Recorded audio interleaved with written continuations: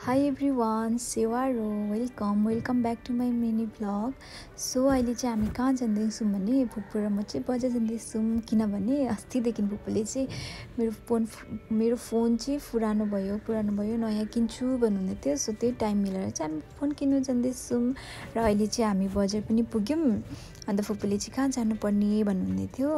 So हामी जाँदैछौँ। अन्त फुपूले चाहिँ फोन पनि हेर्नुहुँदैछ। दाले चाहिँ तिनवटा फोन देखाउनु भएको थियो। फुपूले चाहिँ चुज गर्नुहुँदै थियो फाइनली फुपूलाई एउटा फोन मन पऱ्यो होइन? सो मन परेर चाहिँ फुपूले त्यही फोन किन्नुभयो।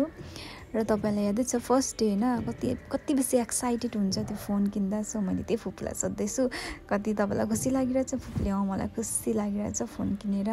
पहिला फाइनली मैले फोन किनेँ भनेर भन्नुहुँदै थियो अनि चाहिँ फुपूले चाहिँ एउटा जुत्ता किन्छु भन्नुहुन्थ्यो। त्यही भएर हामी जुत्ता छान्दैछ।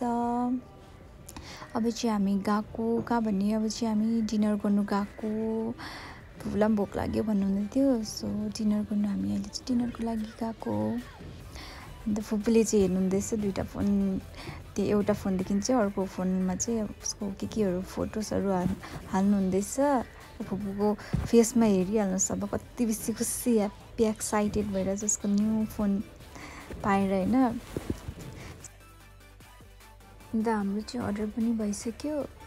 मैले त्यस्तो केही अर्डर गरिनँ। मैले चाहिँ डिनरमा चाहिँ त्यो फ्राइड राइस खान्छु भनेर त्यो पनि भेज।